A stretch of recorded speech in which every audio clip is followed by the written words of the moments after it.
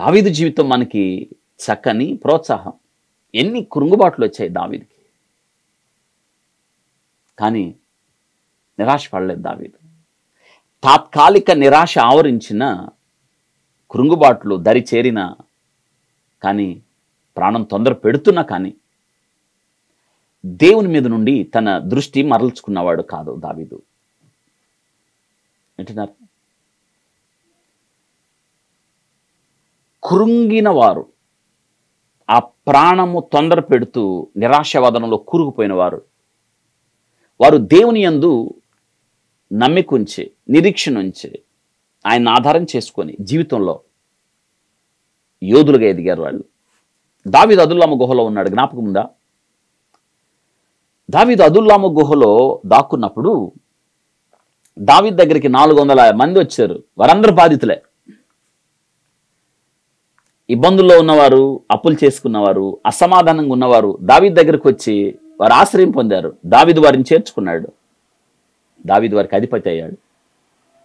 ఆ తర్వాత దావిదు సింహాసనాన్ని అధిష్ఠించిన తర్వాత దావిదు దగ్గర యోధులుగా ఉన్నదంతా కూడా బాధితులే. నిజంగా దావీదు యొక్క యోధుల గురించి వింటుంటే ఒళ్ళు గుగురుపాటు కలిగే సాహస కార్యాలు చేశారు. వీరంతా ఎవరంటే ఒకనప్పుడు నా ప్రాణమా నువ్వేలా కురింగి ఉన్నావు? నువ్వేలా తొందరపడుచున్నావు? అని ఆ గాఢాంధకారం ఆ నిరాశ ఆ అవమానం ఆ నింద తిరస్కారం బలత్కారం అన్న ఆ లోయలో గుండా వెళ్ళిన వారే వీరందరూ కూడా. ఎప్త జ్ఞాపకం వస్తున్నాడా? తన తండ్రి తన అన్నలు తన తండ్రికి పుట్టినవాళ్ళే తల్లి వేరు. ఈయన వేసికి పుట్టినాడు. సొంత అన్నలు వచ్చాయి నువ్వు వేసికి పుట్టినోడివి మా తండ్రి ఇంట నీకు స్వాస్థ్యం లేదు వెళ్ళిపో అన్నారు.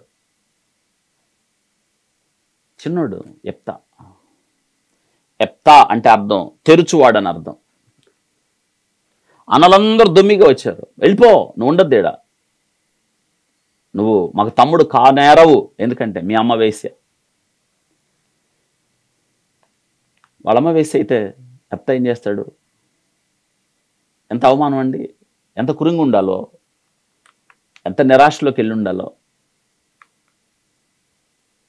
ఎంత వేదం చెంది ఉండాలో కదా? తల్లి కదా.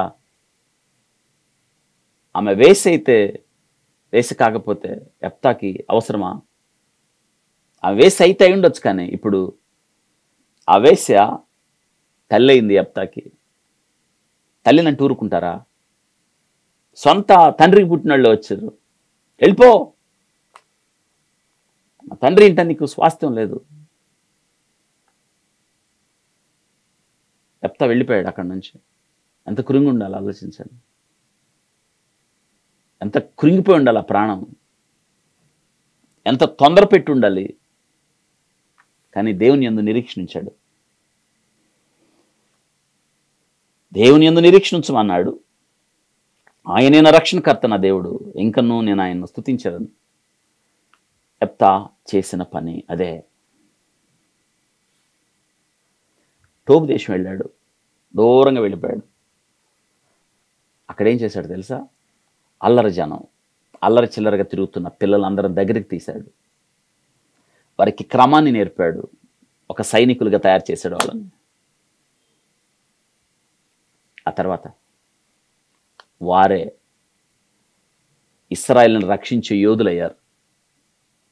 ఎప్త న్యాయాధిపతి అయ్యాడు. అన్నలే వెళ్ళి వచ్చి మమ్మల్ని రక్షించు.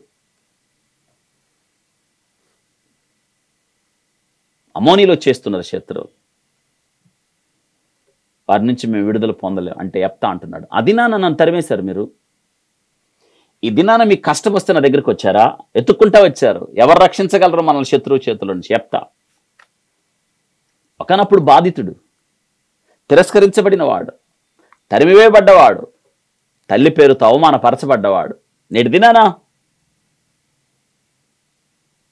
యోధుడయ్యాడు. చూసారా? బాధితుడే కృంగిన వాడే తొందర పెట్టబడిన వాడే కానీ దేవుని యందు నిరీక్షించడం ద్వారా మనం ఈ దినాన్ని పరిస్థితుల్ని అధిగమించవచ్చని జ్ఞాపకం చేస్తాను.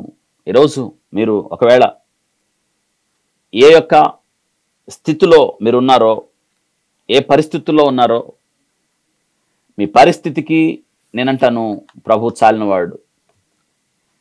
ఆ కురుంగుబాటు గుండా దావీదు వెళ్ళినవాడే. అంటున్నాడు ఒకనొక దినాన కలత చెందినవాడే మరణము నాకు అడుగంత దూరంలో ఉంది అని. ఏలియా కూడా ఆ పరిస్థితి గుండా వెళ్ళిన వాడే అవును మనం ఎంతో మంది జీవితాలు చూడగలుగుతాం మనం. యహోశివ కూడా యుద్ధంలో ఓడిపోయినప్పుడు హాయి పట్టం దగ్గర కృంగిపోయాడు. దేవుడు అంటున్నాడు లేమో నీవేలా ఇక్కడ మొక్కము నేల మోపుకుంటేవి. లేమో లేము లేమో. అంటే ఎందుకు కృంగిపోయావు అంటున్నాడు దేవుడు. పద్మాసు దీవులో ఒంటరితనంలో కృంగిపోయిన యోహానికి దేవుడు లేవనెత్తాడు. ప్రత్యక్షమయ్యాడు. అవును. కాబట్టి మనం కురుంగుబాటుని ఈ ప్రాణం తొందర పెడుతున్నప్పుడు మనం అధిగమించాలి. ఎలా? చక్కగా కీర్తనకారుడు రాస్తున్నాడు. దేవుని యందు నిరీక్షణుంచు. ఆయనలో విశ్రాంతి నొందు. ఆయన ఎందంట మనం నిరీక్షణించాలి. దీన్ని మరొక శ్రేష్టమైన విషయం. మనం ఆయన ఎందు నిరీక్షణించినప్పుడు ఆయన మీద ఆనుకున్నప్పుడు ఆనుకోండి అంటున్నాడు. ఇరవై ఆరో అధ్యాయం యశయ గ్రంథం. చక్కగా ఇక్కడ ఒక వచనాన్ని చదువుకుందాం. ఇవి మనకు సహాయకరంగా ఉండగలవు. మూడవ వచనం. యశయ గ్రంథం ఇరవై ఆరో అధ్యాయం మూడవ వచనం. ఇక్కడ ప్రవక్త రాస్తున్నారు చూడండి.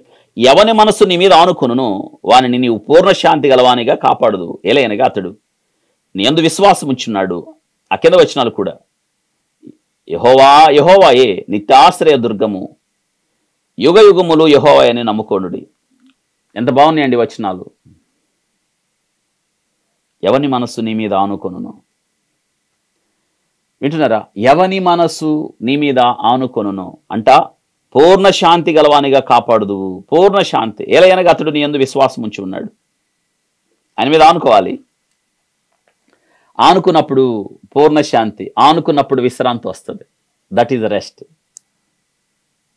ప్రయాసపడి భారం ఇచ్చున్న సమస్తమైన జన్లారా నా దగ్గర రండి. నేను మీకు విశ్రాంతిని ఇస్తాను అంటున్నాడు. ఆయనలో మనకు విశ్రాంతి ఉంది. అని మీద ఆనుకోండి. మనం ఒక సమస్య గురించి పదే పదే ఆలోచిస్తూ ఉంటే లేదా మీరు పొందిన అవమానం గురించి అదే పనిగా తలస్తూ ఉంటే దాని మీద అనుకున్నట్టు అవుతుంది. ప్రతిసారి అదే పనిగా ఆ విషయాన్ని గుర్తు చేసుకుంటూ ఉంటే మనం అక్కడే చతికిలు పడాల్సి వస్తుంది లేవాలి అక్కడి నుంచి. ఎవరు మనస్సు నీ మీద ఆనుకును పూర్ణ శాంతిని దేవుడిస్తాడు. శాంతి లేదు చాలామందికి. శాంతి లేదండి. ఇంత కలవరం. మనశ్శాంతి లేదండి. మనసు విరిగిపోయిందండి. జరిగింది పదే పదే గుర్తు వస్తుందండి నేను ఆ విషయాలు మర్చిపోలేకపోతున్నానండి. చాలామంది ఇలా మాట్లాడడం చూస్తున్నాం. ప్రాణం కురింగిపోయింది సార్ ఇది నాకు. చాలామంది హాస్పిటల్కి వచ్చి చెప్తారు. రిపోర్ట్స్ అన్నీ బాగున్నాయి. ఏంటి? ఏమన్నా ఆలోచిస్తున్నావా? అవును సార్. ఎన్నో ఆలోచనలు.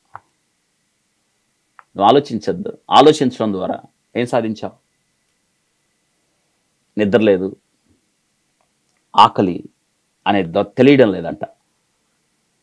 ఒక ఆయన అంటున్నాడు ఎప్పుడు తెల్లారుతుందో ఎప్పుడు ప్రొద్దుపోతుందో తెలియట్లేదు సార్. ఆలోచనలు చుట్టుముట్టాయి. అని అంటున్నాడు ప్రతిసారి నాకు ఈ ఆలోచన వస్తూ ఉంది. ఇంకెందుకు బ్రతుకున్నావు? ఇక నీ వల్ల కాదు వీటిని పరిస్థితులన్నీ చక్కబెట్టుకోవడం. ఏదో ఒక నిర్ణయం తీసుకో. ఇదే ప్రాణం తొందర పెట్టడం. చాలామంది తొందర పెట్టబడి ప్రాణం. ఆత్మహత్యల వైపు పరుగులు తీస్తున్న వాళ్ళు ఎంతోమంది. వారు చెప్పేది ఒకటే ఏంటంటే మా ప్రాణం మమ్మల్ని కలవర పెడుతుంది తొందర పెడుతుంది వేదన తీసుకుపోతుంది నిరాశలోకి వెళ్ళిపోతున్నాం. వింటున్నారా? ఇది నా నీ వాక్యం వింటున్నా మీరు. అనుభవం కూడా వెళ్తున్నారా? ఆయన మీద మీరు ఆనుకోవాలని జ్ఞాపకం చేస్తున్నాను.